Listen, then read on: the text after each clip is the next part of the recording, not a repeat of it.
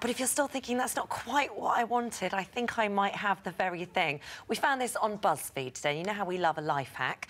Uh, if you need to make yourself some rabbit ears, how about these ones? These ones, these are rabbit ears, very simply made out of sanitary towels. So you get your sanitary towels, you put them round an Alice band, and there you have it. Two rabbit ears, quite simply. Done. Doesn't cost you anything. Yours are on backwards. Well, uh, do you, pardon me for not knowing. what do you think of those? I, mean, think- that's very uh, creative, isn't it? Yeah, it actually is quite creative. I think I put some glitter on those to hide. Yeah, oh, God, my, put some glitter. my fingers have stuck to them.